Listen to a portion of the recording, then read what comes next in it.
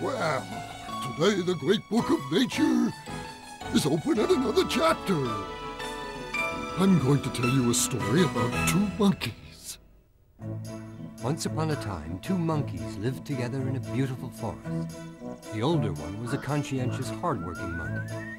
His younger brother just wanted to play all the time.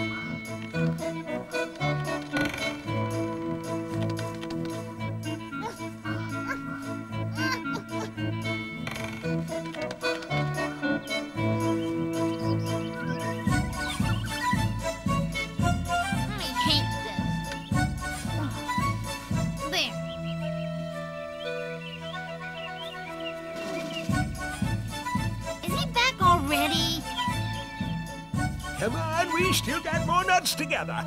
Ugh, not more chestnuts. Of course. Now move it.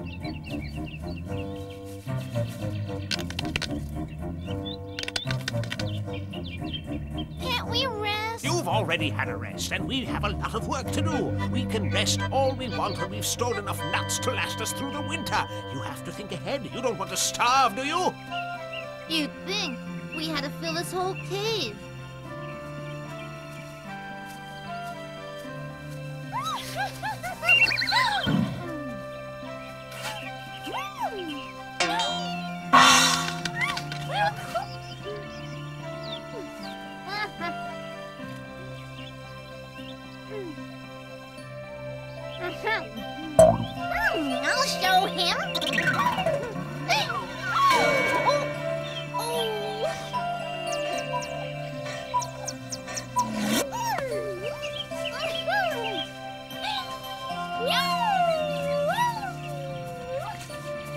You doing? You should be working.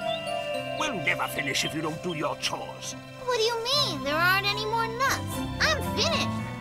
Just look up there. There's a whole bunch up in that tree. Now go pick those. But they're out on the tip of the branch. Nobody can catch those. So what do you want to do? Wait until they fall out of the sky? Go ahead and try, but you won't get them.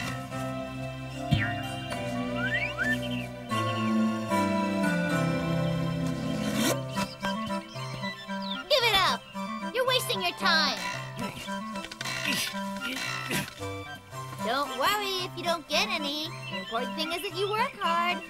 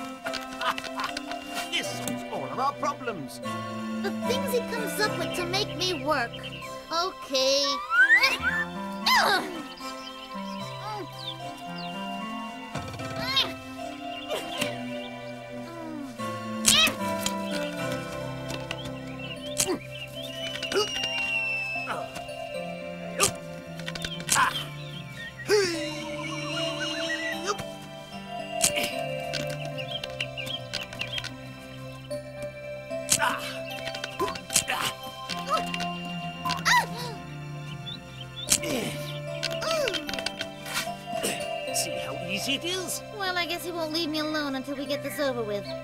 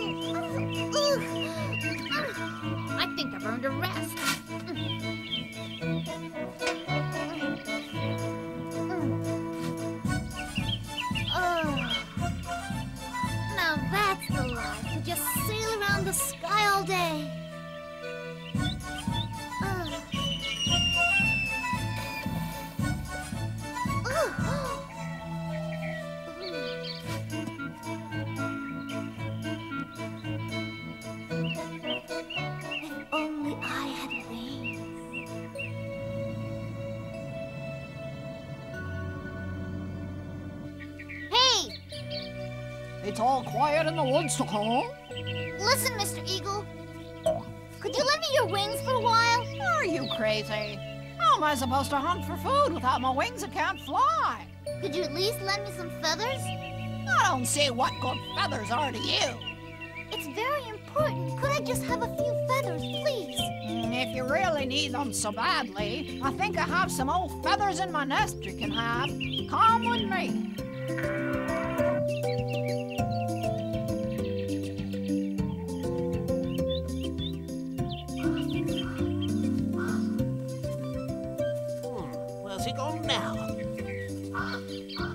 Excuse me, Mr. Deer. Have you seen my little brother around anywhere? No, I'm afraid not. Must be off playing. Little brother! Little brother, where are you? Where is he? What? Huh? Here I am. What the devil are those? They're wings. Aren't they beautiful? I can fly. I can fly like an eagle. Stop that! What in the world's gotten into you? You're not a bird. But I can fly right to the top of the tree. Now it's easy to pick nuts. I'll show you. Don't be silly. Come down here. You're going to hurt yourself. Don't worry, I know what I'm doing. Watch.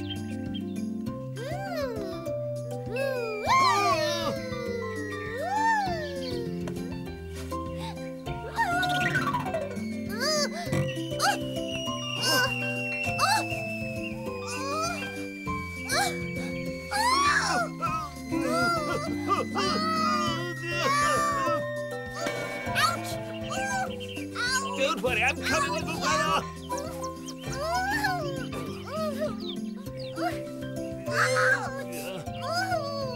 Hold still.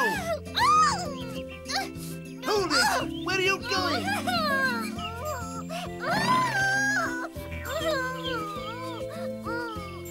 Get it out! Stay where you are, will you? I can't help you if you run away.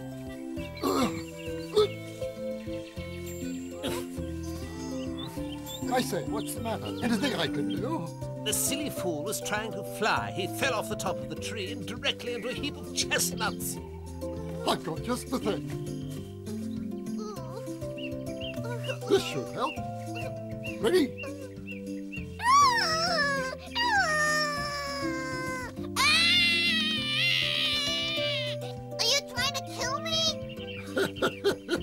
now, for this to work right, I have to make sure it sticks. So I can't be too gentle. You'll just have to grin and bear it. Now, here goes. I'm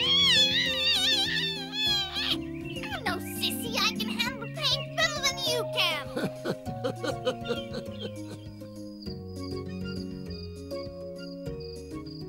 I made him work too hard. Otherwise, he wouldn't have hurt himself.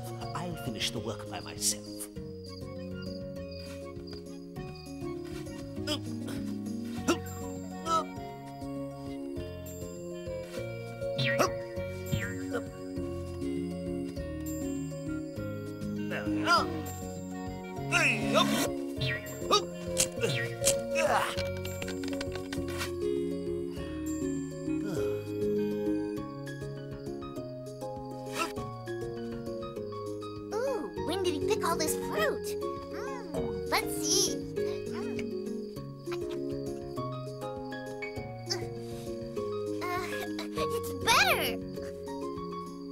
Be a lot better.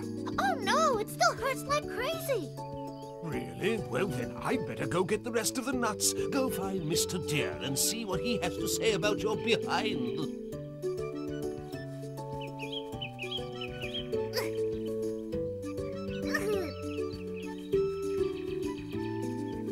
As long as he thinks I'm hurt, I can play as much as I like.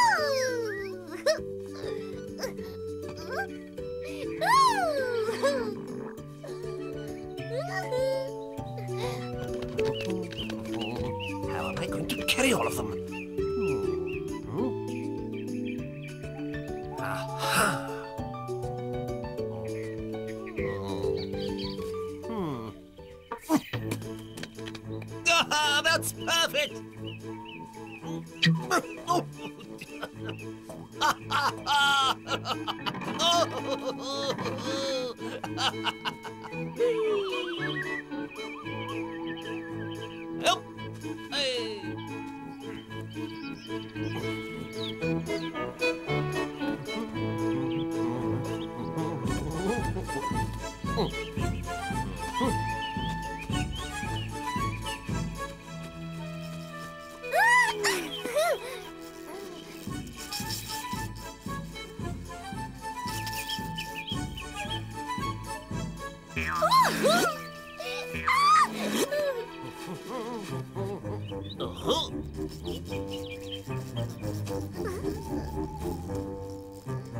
You doing? I was just, uh, uh, Look, with this hollow gourd, we can carry a whole bunch of nuts at one time. It's really sturdy. Here, you try it. Take it. Go on. Oh, you seem to enjoy making me work so hard. I do. Listen, it's the only way you're going to develop your mind and get brilliant ideas, like when you use that stick to pick the chestnuts. The more we work, the more food we have, and the more good ideas we get. But the work's so hard. Yes, but it's worth it. How are you feeling now? Better, I guess. Good. Uh, Why don't you take these nuts back to the cave? I'm going to go up into the mountains to get some more fruit. Say, some of them are falling out. I'll pick them up later.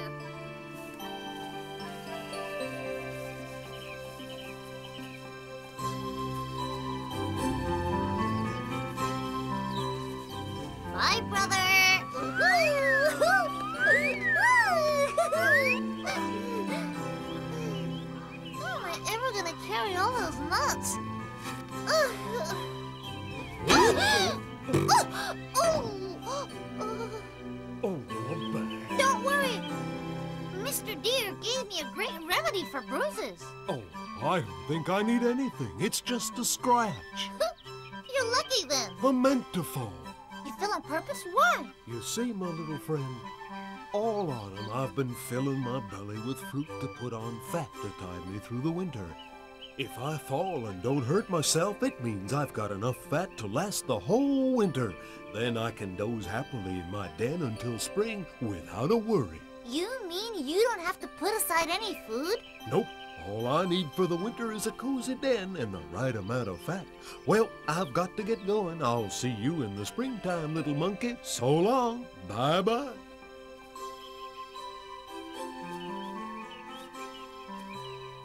Oh. See you next year. See you. Why can't I just do what Mr. Bear does? It sure saved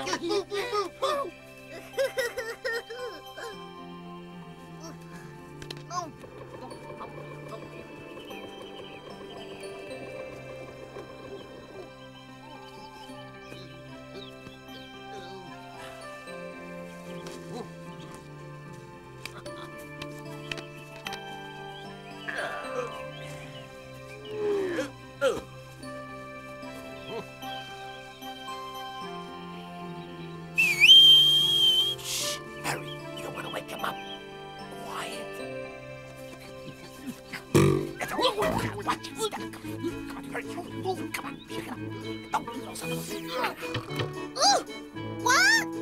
Those miserable rats stole all our chestnuts. Oh, what do I care? I think I've put on enough fat to last me the winter.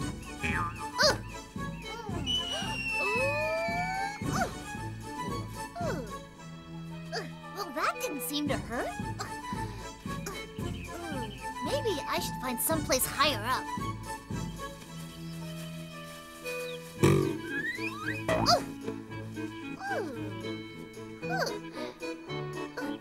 Maybe I should go all the way to the top. That way I'll know for sure if I've got enough fat for the winter.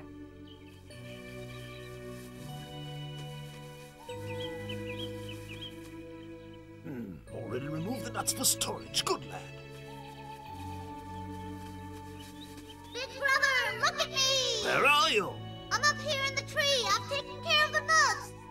Put them all in the cave? No, I put them all in my belly. What the devil are you talking about? Come down here before you hurt yourself. I found out how to live without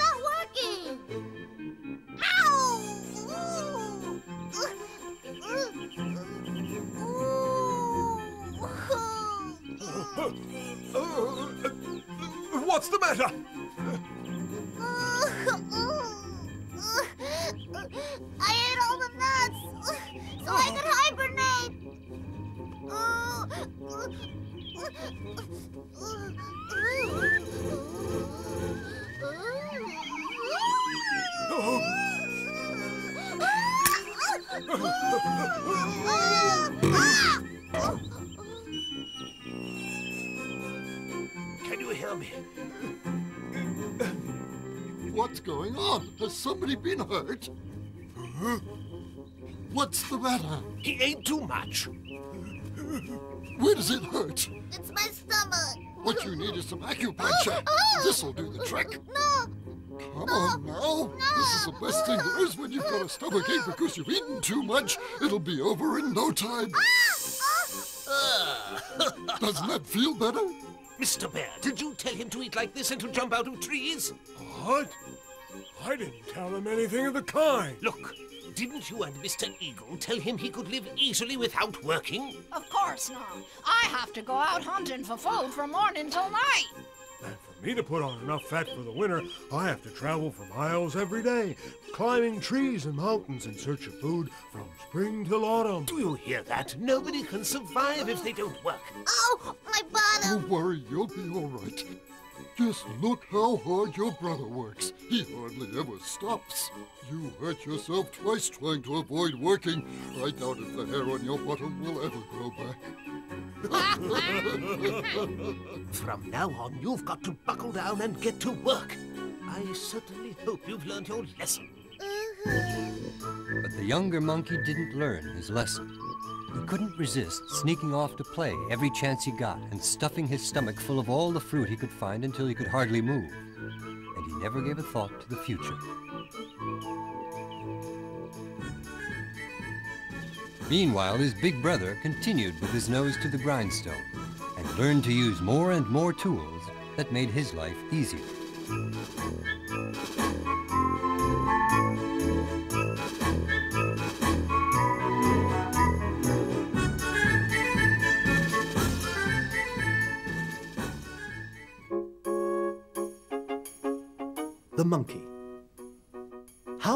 Monkey classified in the animal kingdom?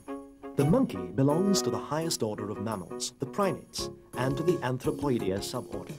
Anatomically, monkeys are very similar to people, with a body in a variety of shapes and sizes and a human-like face. Two characteristics set the monkey apart from all other non-human animals. Its first finger and the big toe are divergent from the others, and it has a large, complex brain. How many species are there, and where do they live? There are about 200 known species of primates, divided into two suborders, the catarrhines and the platyrrhines. They live mostly in areas where the weather is warm, excluding Australia and Europe, where they can be found only in Gibraltar, and they prefer a forest habitat. How do they live? Monkeys are usually found in areas with plenty of trees, and they live among the foliage. Most monkeys live in large groups, and their social life is dictated by strict rules. Only a few species prefer to live on their own. How do they move? Primates are considered the most agile of all mammals. They can run, leap, swing from branch to branch, and even swim. What do they eat? Monkeys are omnivorous animals and eat every kind of food. Fruit, bulbs, roots, seeds, juicy stems of many different plants, insects, and eggs. How do they protect themselves? Normally, primates escape across the trees in the face of danger. However, if necessary, they're very capable of defending themselves, especially with their teeth. How do they relate to people? Some monkey species can be tamed and make excellent pets. Unfortunately, many other species are now threatened with extinction because of indiscriminate hunting. Can they live in the city? Normally, monkeys don't live in built-up areas. Examples found in the city live in captivity, either in private houses, zoos, or circuses.